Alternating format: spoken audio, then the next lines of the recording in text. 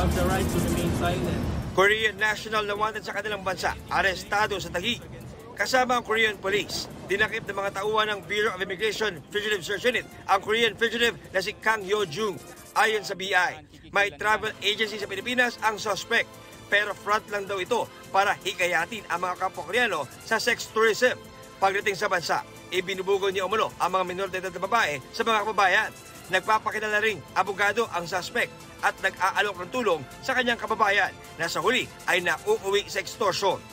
Hinatulan na sa Korea na makulong ng 22 taon ang suspect. Sinasabing aabot sa 20 milyong piso ang nakikilang suspect sa kanyang mga nabiktima. Inaalam na rin kung may kasabot na Pilipino ang naarestong dayuhan na wala pang ibinibigay na pahayag. Reklamo laban sa SUV driver na nalagasan ng isang security guard sa Mandaluyong ibinaba sa frustrated homicide.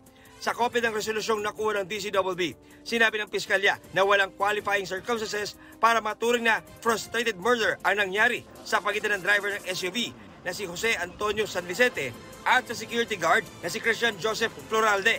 Ibinasura rin ng piskalya ang kasong abandonment of one's own victim dahil sa kakulangan umano ng probable cause. Hawak ngayon ng Mandaluyong Regional Trial Court Branch 213 ang kaso ni San Vicente.